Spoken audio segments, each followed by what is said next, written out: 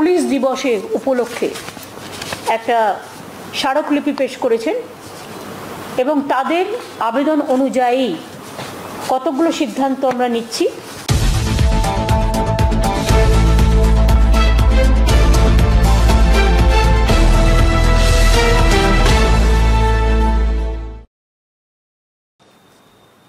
Police day আপনারা জানেন যে আমরা স্টুডেন্টস ডে যেমন ফার্স্ট জানুয়ারি ডিক্লেয়ার করেছি, আমরা পালিত করি। তেমনি পুলিশ ডে আছে আগামীকাল। ওপরতলায় আমাদের ডাব্লিউবিসিএসদেরও, ডাব্লিউবিপিএসদেরও একটা কমিটি আমরা তৈরি করে দিয়েছি, তাদের গ্রিভ্যান্সেস এবং তাদের প্রবলেম দেখার জন্য। কিন্তু নিচুতলায় ওদের আমি একটা ওয়েলফেয়ার অ্যাসোসিয়েশন করেছিলাম। Welfare committee, Kolkata Paschimbanga police welfare committee এবং কলকাতা পুলিশ ওয়েলফেয়ার কমিটির পক্ষ থেকে আমার কাছে ওরা পুলিশ দিবসের উপলক্ষে একটা স্মারকলিপি পেশ করেছেন এবং তাদের আবেদন অনুযায়ী কতগুলো সিদ্ধান্ত আমরা নিচ্ছি। আমরা সবসময় উপরতলার সিদ্ধান্তটা চোখে দেখতে পাই, কিন্তু নিচুতলাটা দেখতে পাই না। তাদেরটা প্রচার হয় না, ফলে তারা অনেক সময় দুঃখ পান। আমি মনে করি আমাদের সরকার ওপরতলা এবং নিচুতলার মধ্যে কোনো তারতম্য না রেখে কোনো বৈষম্য না রেখে উঁচুতলার যারা আছেন তারা তাদের মতো কাজ করবেন, নিচুতলায় যারা আছেন তারাও তাদের মতো কাজ করবেন।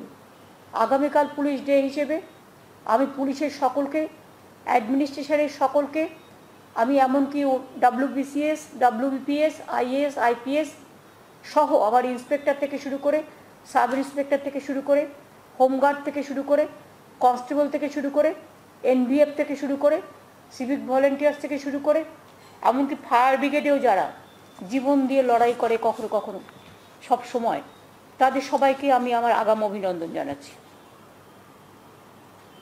আমরা কতগুলো সিদ্ধান্ত নিয়েছি? আমার সাথে chief secretary home secretary DG police finance secretary land secretary এবং পুলিশ কমিশনার কলকাতা এবং কলকাতার মেয়র পি রাধাকৃম আছে।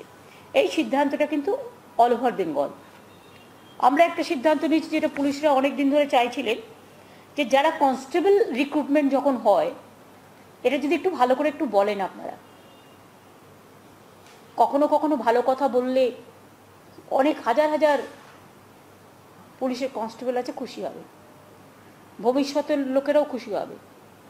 রিক্রুটমেন্ট যেটা পুলিশ কনস্টেবলের আপার এজ লিমিট ছিল সাতাশ বছর, বর্তমানে সেটাকে আমরা বাড়িয়ে থার্টি ইয়ার্স করলাম। তাতে কি হবে? যেহেতু তাদের ট্রেনিং নিতে হয়, অনেক কিছু করতে হয়, তারা ট্রেন্ড ফোর্সেস সেই জন্য অনেক দিন ধরে তাদের একটা ডিম্যান্ড ছিল যে বয়সটাকে যদি একটু বাড়ানো হয়। সেই জন্য আমরা তাদের বয়সটা সাতাশ থেকে বাড়িয়ে তিরিশ করলাম। compassionate appointment under exempted category relaxation with respect to age and physical measurement will be provided to the next of kin of the deceased police personnel compassionate যে অ্যাপয়েন্টমেন্টগুলো হয় অনেক সময় কি হয় ধরুন যে মারা গেল পুলিশ কর্মীটি তার বাড়িতে কেউ হয়তো চাকরি করার জন্য আছেন অথচ অনেক সময় পুলিশের চাকরিতে এতটা ইঞ্চি চাই শারীরিক মাপ দীর্ঘতা এতটা বয়স এতটা, এর মধ্যে হবে নানা রকম ওদের প্রসেস আছে। কিন্তু কম্পেনশনেট অ্যাপয়েন্টমেন্টের ক্ষেত্রে যদি কেউ মারা যায় কাজ করতে করতে ডিউটিরত অবস্থায় এবং পুলিশ কাজ করতে করতে, তাদের জন্য এগুলো এক্সামটেড ক্যাটাগরির মধ্যে নিয়ে এসে রিল্যাক্সেশন দেওয়া হবে। অর্থাৎ সেখানে সে পাঁচ ফুট না ছ ফুট, তার অনুযায়ী কাজ দেবে। যেমন আমরা অনেককে তো দেওচা পাঁচমিতে করেছি এটা স্পেশাল ক্যাটাগরি হিসেবে। সেই সুযোগটা পেলে তাদের অনেক পরিবার আছে, তারা বেঁচে যাবে।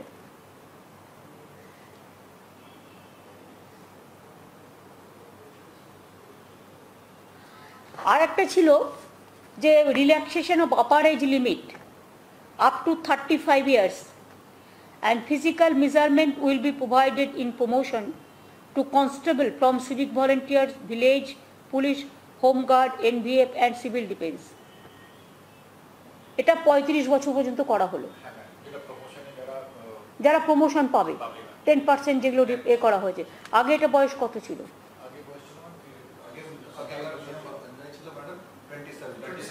টোয়েন্টি সেভেন ছিল। মানে যারা ধরুন পুলিশে কাজ করে হোম কনস্টেবল মানে ধরুন সিভিক ভলেন্টিয়ার্স এনপিএফ তারপরে সিভিল ডিফেন্স এইসবে কাজ করে সিভিক ভলেন্টিয়ার ভিলেজ ভলেন্টিয়ার তারা সাতাশ বছর পর্যন্ত প্রমোশনের জন্য অ্যাপ্লাই করতে পারতো। কিন্তু তার বেশি আর হতো না। ফলে এইটাকে বাড়িয়ে পঁয়ত্রিশ বছর করা হলো। হ্যাঁ। কন্ট্রাকচুয়াল ড্রাইভার্স এবং পুলিশ, কলকাতা পুলিশ।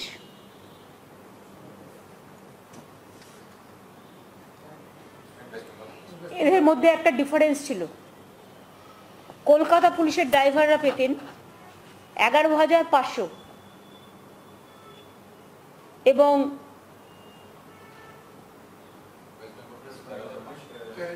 ওয়েস্ট বেঙ্গল পেত তেরো হাজার পাঁচশো। এটাকে সমান করে দেওয়া হলো। অবশ্য কলকাতা পুলিশের এটা জুরিসডিকশনটা ছোট। গ্রামের দিকে জুরিসডিকশনটা অনেক বেশি। নাইটের পর নাইট খাটতে। হয় আমার মনে হয় এটা তোমরা একটা করতে পারো ফাইন্যান্স যদি এগ্রিড করে।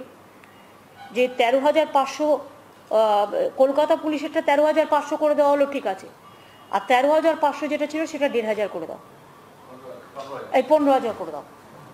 কারণ আমার মনে হয় যে কলকাতা জুরিসডিকশন খুব কাছে, কিন্তু গ্রামের জুরিসডিকশন অনেক বড় বৃহত্তর এরিয়া কাজে ওদেরও এগারো হাজার কোথায় গেল? হারিয়ে ফেললাম। এগারো হাজার পাঁচশো থেকে বেড়ে গেল তেরো হাজার পাঁচশো, আর এদের বেড়ে গেল তেরো হাজার পাঁচশো থেকে পনেরো হাজার।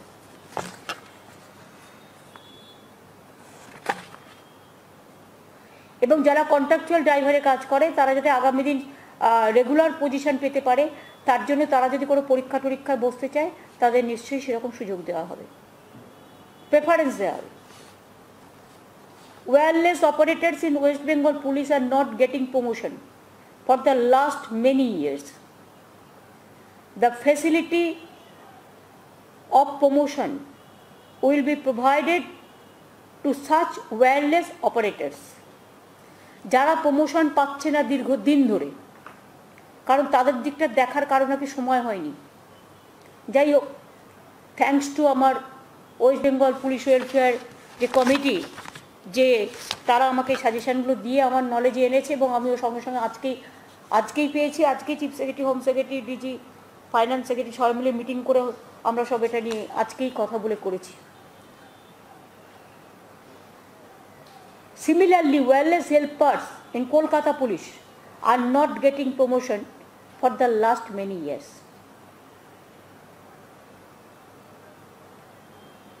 এদেরও ওয়্যারলেস প্রমোটারসদের ওয়্যারলেস অপারেটারসদের মতো তাদেরও প্রভিশন রাখা হলো প্রমোশনের ক্ষেত্রে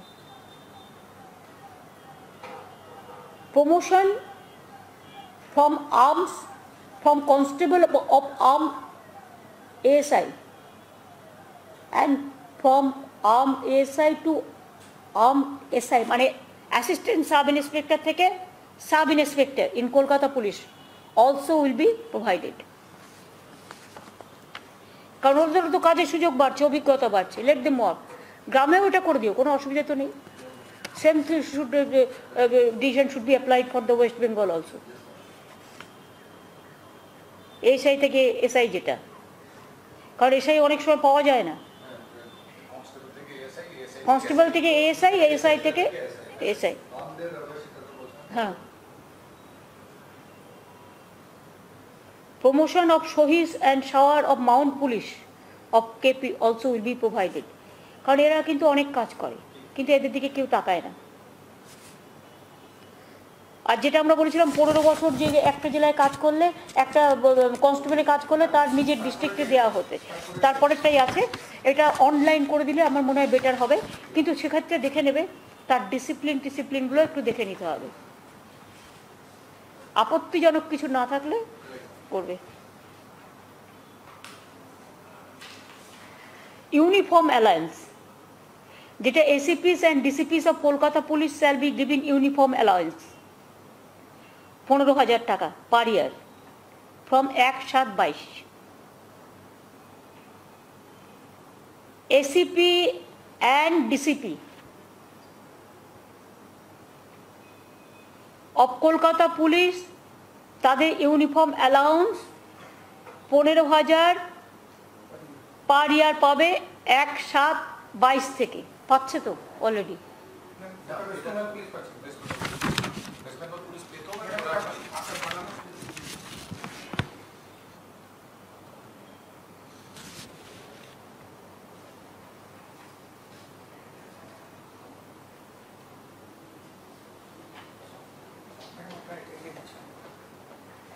কাগজটা চাই। এটা পুলিশ অফিসারদের মিটিংয়ে অলরেডি আমরা ডিসাইড করেছিলাম ওয়েস্ট বেঙ্গল যারা পুলিশ সার্ভিসের লোক। তারা অলরেডি কলকাতা তাদের পনেরো হাজার টাকা করে তাদের যে অ্যানাউন্স দেওয়া হতো যে ডিউটি ইউনিফর্ম কিট যে অ্যানাউন্সমেন্ট দিত এবার এখন কলকাতাও পাবে। অ্যালাউন্স পাবে হ্যাঁ। আর একটা হচ্ছে অল পুলিশ পার্সোনাল রাখো and all police personnel in the rank of inspector sub inspector assistant sub inspector and constable will be provided uniform allowance from তেইশ চব্বিশ। They are at present getting getting uniform kit আচ্ছা তার মানে হচ্ছে, যেহেতু uniform কিটটা এরা পেয়ে গেছে এটা কাদের জন্য? অফিসারদেরটা আগে বলেছে ওদেরটা হয়ে গেছে। যারা all police inspector sub inspector assistant sub inspector constable তারা যে ইউনিফর্ম কিটটা পেয়ে গেছেন এবছর আগামী বছর থেকে তারা অ্যালাউন্স পাবেন। সুতরাং এবছরে হ্যাঁ সেটাই বলছি। রেট অফ অ্যালাউন্সটা হচ্ছে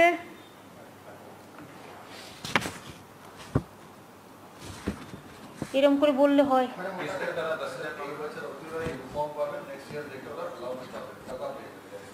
এবার তো কিট দিয়ে গেছে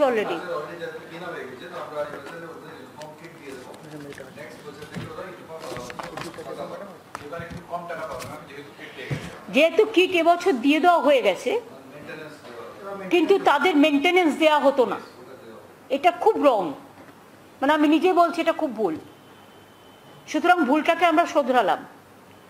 এবার আমরা এখন থেকে মেনটেনেন্স অ্যালাউন্স ইউনিফর্ম অ্যালাউন্স চালু করেছি যেটা ইউনিফর্ম কুইট পেতেন এতদিন। তারা তেইশ, চব্বিশ থেকে সামনে বছর থেকে ইউনিফর্ম কিটার পাবেন না। তার বদলে ইউনিফর্ম অ্যালাউন্স আমরা তাদের দেব। এতে অনেক বেশি পুলিশ কর্মীরা উপকৃত হবেন। বিভিন্ন রকমের র্যাঙ্কের জন্য এই অ্যালাউন্সের পরিমাণ আমরা নির্দিষ্ট করে দিয়েছি। যেমন ইন্সপেক্টর হলে দশ হাজার টাকা পাবে সাব ইন্সপেক্টর হলে সাত হাজার টাকা পাবেন সাত হাজার পাঁচশো তো লেখা নেই সাড়ে হ্যাঁ সাড়ে সাত হাজার টাকা পাবেন অ্যাসিস্ট্যান্ট সাব ইন্সপেক্টর ছ হাজার টাকা পাবেন কনস্টেবল পাঁচ হাজার টাকা পাবেন।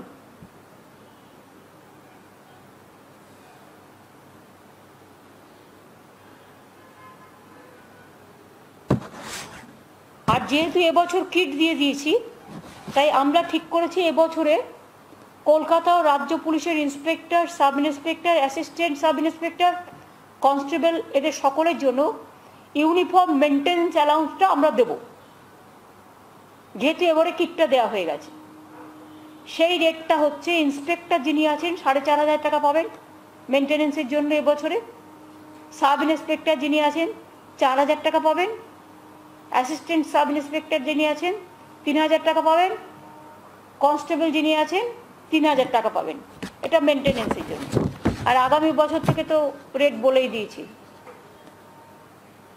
এগুলো ভালো করে একটা এ করো ডিটেলসটা দিয়ে একটা প্রেস রিলিজের মতো একটা হ্যাঁ একটা প্রেস রিলিজ করে দাও।